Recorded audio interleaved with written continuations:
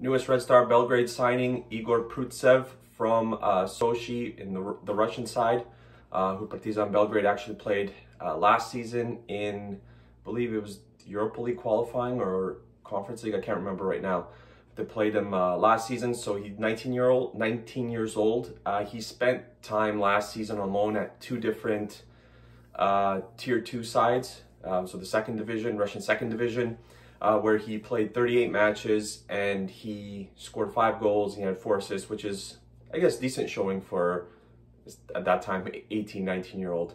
Um, he was wanted by CSKA Moscow, uh, but he decided to join Red Star. Um, he can play all over the pitch. Uh, just looking at some of his uh, stats and the positions that he played last season. Anything from center forward to right wing, right midfield, left wing, left midfield, attacking midfielders, uh, central midfielder, like all the attacking positions he can pretty much uh, cover for a team.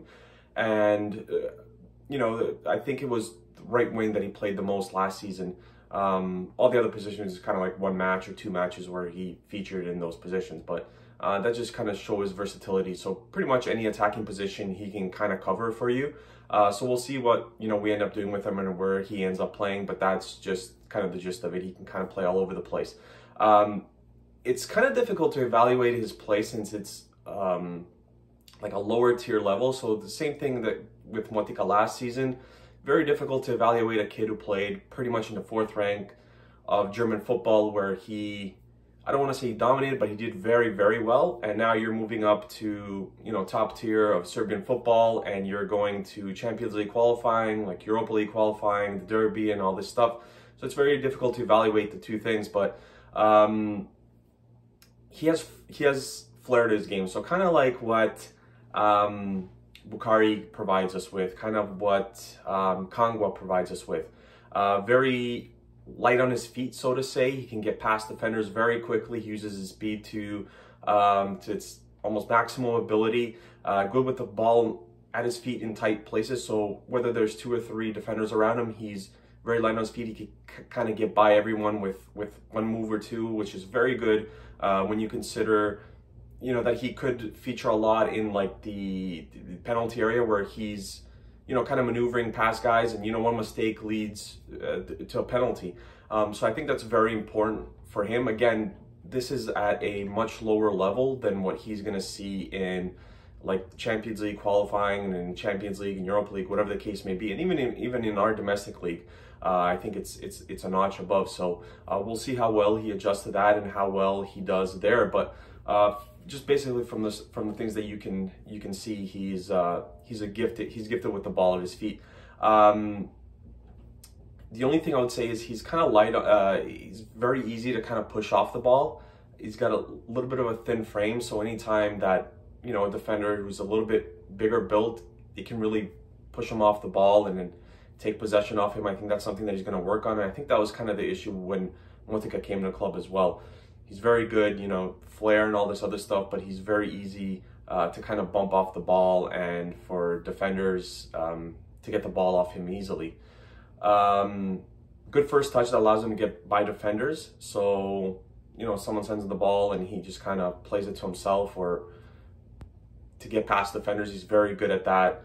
Um, again, when you go to Champions League qualifying and Champions League and Europa League and all this other stuff, you're going to play against defenders who are much, much better than what he saw at the uh, Russian second tier. So all of this stuff, you know, he's going to kind of have to redo and kind of rethink. Um, but yeah, from the from the first glances, from you know the highlights, from the highlights that I've seen, uh, and depends what you take out of that. But you know, going off that, he's a kid who has some serious potential. Like I said, CSKA Moscow wanted him, and he ended up coming to uh, Red Star Belgrade instead. Uh, what happens with him this season, I think is going to be interesting. I think it's going to be interesting to see what happens with Motika and uh, Mustafa as well. I would like to see, I don't think that Prutsev is going to get much playing time with Red Star, with Stefan Mitrovic kind of emerging um, now, and, and Katai and Ivanic there, and obviously Bukari. So I'd like to see him on loan at a um, top tier club in in Serbia. I don't I don't want to see him at Grafičara again. That's tier two. That's kind of like where he was last season uh, in Russia. I don't want to see him there. I want to see him get uh, consistent playing time for for uh, top tier club, and you know to kind of see where he's at and maybe evaluate that come uh, January, whether it's a short loan or if it's a season long loan, which I think is more likely. Um, and then kind of see where we are next summer. Although I guess he could very well go to Grafičar until you know January, and then January he goes to uh, top tier club uh, on loan again. But I would I would prefer to see him at a top tier club. Um, that's just my thinking of it. Motika as well hasn't played much at all. I could see him getting loaned out. Uh, Mustafa as well. We'll see what happens with him. I think there's a lot of young players now that you know can kind of go on loan. Um, we don't really count on young players much apart from Rakovic. Uh, Stankovic is getting minutes late lately, but we usually don't. In this five six year run, we haven't really brought up many young players from the academy. Uh, so I think it would kind of make sense to loan him out. Lucic is already at Čukarički for the rest of the season, um, and he's going to get consistent playing time there. And then again, evaluate with him. You know, we'll see where he is at the end of the season. But again, uh, Egor Prutsev, another signing, 19 years old, um, a lot of potential. We'll see what happens with him. Again, kind of difficult to evaluate where he's at in, in the second tier of um, of Russian football, but there's you know a lot of young players now. Uh, the Red Star has that they're gonna either have to loan out or or, or maybe even sell, um, just because there's a lot of veteran players who have come along and and um, and they're getting all the playing time. So very interesting to see what happens with uh, Egor Prutsev for the rest of the season.